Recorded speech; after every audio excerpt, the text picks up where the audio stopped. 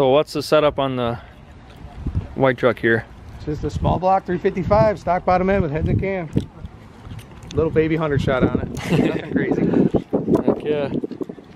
Still all stock suspension. Oh really? Very stock suspension.